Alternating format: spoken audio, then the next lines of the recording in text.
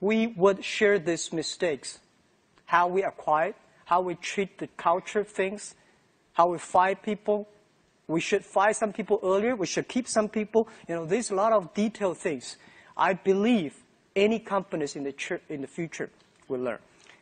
And, and I think today I'm not talking about Yahoo US. Chinese country is not able to launch their products based on Taobao platform.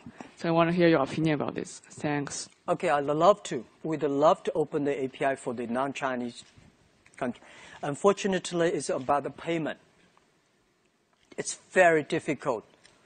I, I have, you know, when I travel around, I saw so, so many overseas Chinese, they say, oh, Taobao is wonderful. How can we buy things outside China, sell things, and a lot of uh, foreign.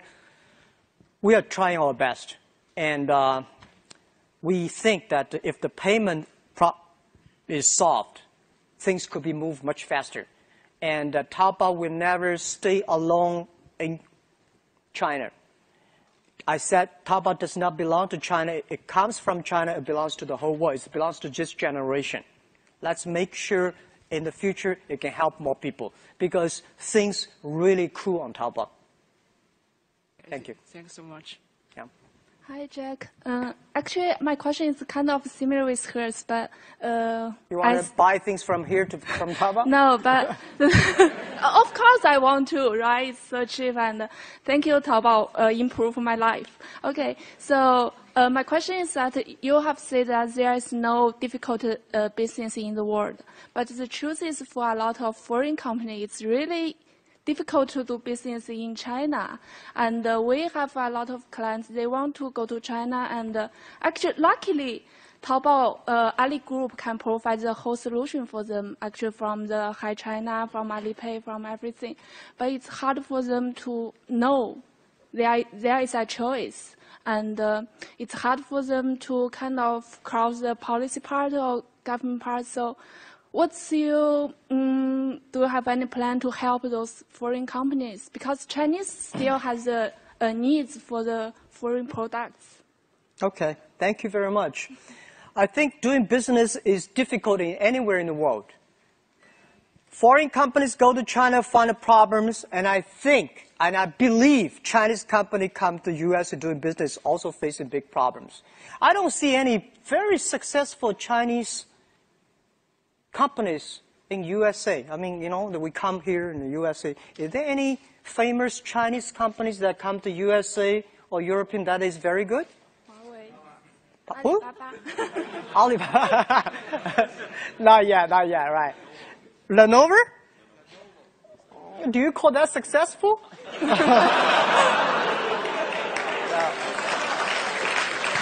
All right. My my thinking was that uh, in China, we do have some successful foreign companies, right? Microsoft is not bad. IBM is not bad. And we have a lot, Oracle, a lot of great companies and the foreign company in China, very successful. Guys, going anywhere, doing business takes time. I think my friend Kara Swisher, you know, asked me about question in the D conference. Uh, no market welcomes gamblers. You go there, create value for local people, have time, you will have chance. So I believe that doing business today in everywhere in the world is difficult. China's, my wife and I was debating yesterday morning when driving, saying, she's saying, oh no, it's so difficult to do business in the USA because there are a Walmart chain, whatever chain, everything's a chain, even the, even the coffee is a chain. He said, how can you have a small business? And I said, well, in the USA, it's easy for a small business to do. So there's a professor sitting next to us. We should have a big debate. Which country is easier to do business, USA or China? And I think China today, if you still think about we should follow the government policy, you know, the negotiation, or oh, forget it. I've said again and again 12, in the past 12 years, every time I speak out of China, if you meet somebody come to you say, I have a strong guanxi with that mayor, forget about this guy. the only guanxi is the guanxi with the customer. If the customer love you, the government will better love you. Trust me, they need the tax, they need the jobs. But if you want to pick around, you know, you're in trouble. So I don't, I don't believe that because my relationship with the government in the past 12 years, as I was in love with them, don't marry them. Always. I love them. Every time they come, I tell them the truth. I do everything they tell me. Yeah, okay, right? Let's communicate. But do business? Sorry. My friend does business with government, not me. In this way, you get respect from them. If this is that serious about Alipay, let's listen to them because the law is not government guanxi. So I give you advice. It's always scared, looking far away. Oh my God, this is a difficult place.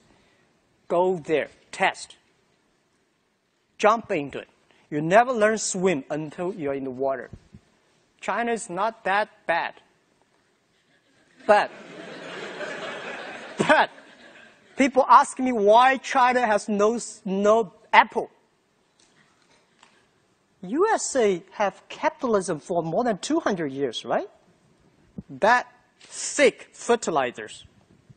People company die, grow, die, grow, that thick fertilizer. China only 30 years after reform Deng Xiaoping. 30 years have a company like a Tencent, Baidu, Alibaba, Sina, not bad, right? So let's wait for another six, 30 years. We will have them. And that is not China. That belongs to the world because it belongs to the internet at the time. Belongs to the young people who were born 1990s and 1980s, year 2000. These are the people going to change the world, and especially most of the students here. And they are the future. I, I believe that. Thank you. Thank you.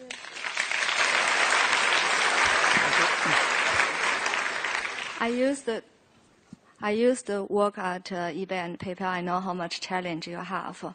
Back to 2000, uh, I don't know, do you remember um, you have the TV advertisement in Australia? That is two months before uh, Sydney Olympic. I have a business trip there. So at that time, Alibaba just have two years old, so you have the ambition to have a globalization at that time. So now, after 10, 12 years, right, uh, Alibaba has more power to have globalization. What is your future plan for the global uh, growing strategy? And uh, I think that's it. Okay, thank you. Yeah, um, you're right. When we have money, we start to make mistakes.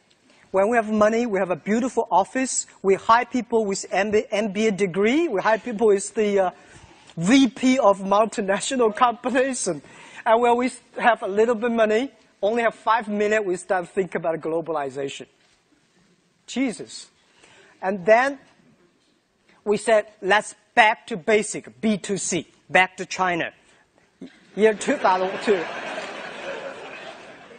I remember we called that time called B2C, back to China, back to basic, back to base, right? Back to central of China, the coast area, back to coast area.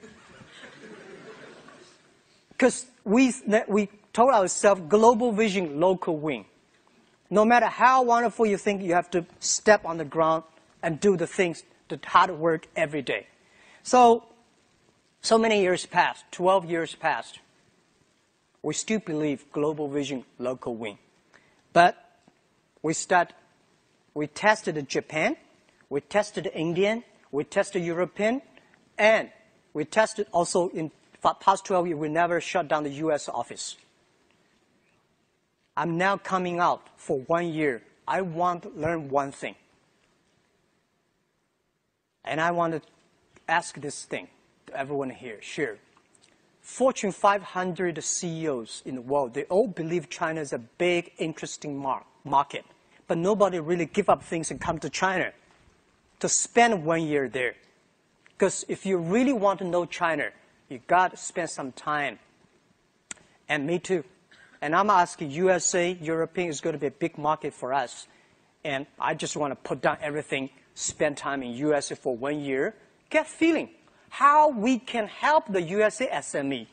How we can help the US, what's the difference we can do between Amazon, eBay, and us? What's the real value we can create?